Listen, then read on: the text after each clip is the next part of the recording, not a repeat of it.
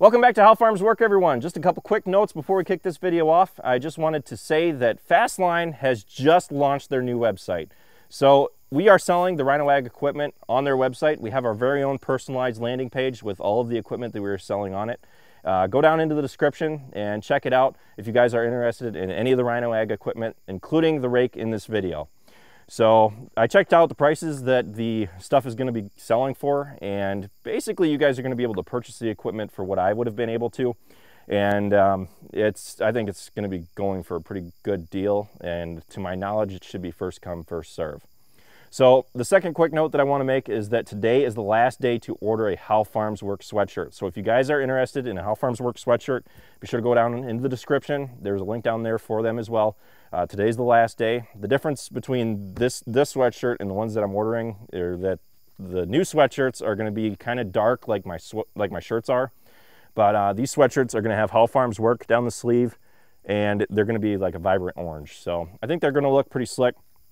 Uh, basically, my sweatshirts are so expensive uh, to me when I order them individually that I can't maintain an inventory. But when I do a bulk order, uh, the price can be lowered enough to where you guys are willing to buy them and to where I'm willing to order them.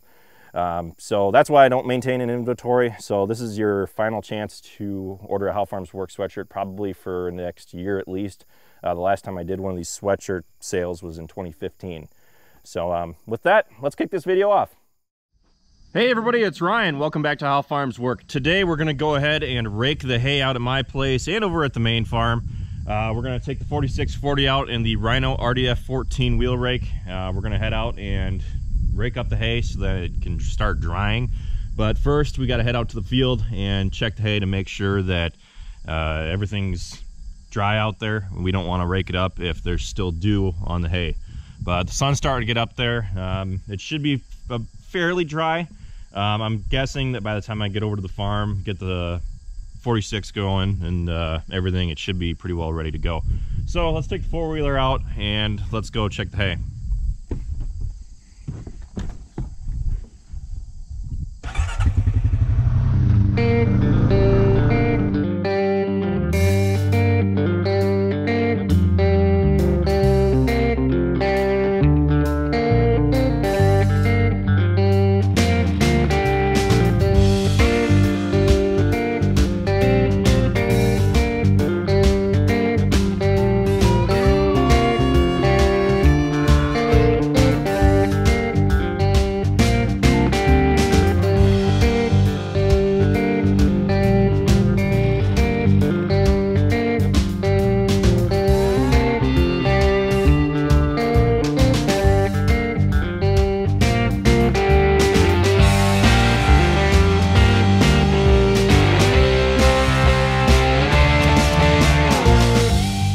Hillside is facing away from where the sun rose and as you can tell by my shadow it's getting pretty high up there.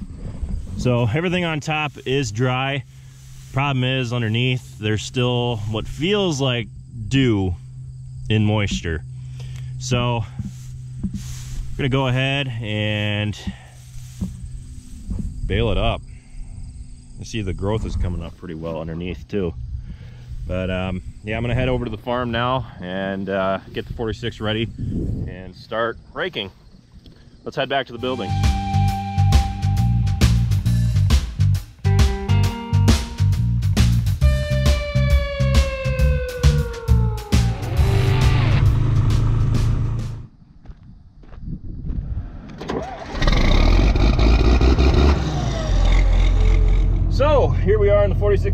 About to get started. Uh, we got the Rhino RDF 14 on the back.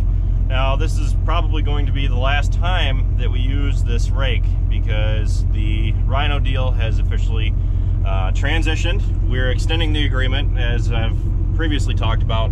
So we're going to be getting a new Rhino Ag rake. It's going to be harvest time before we know it.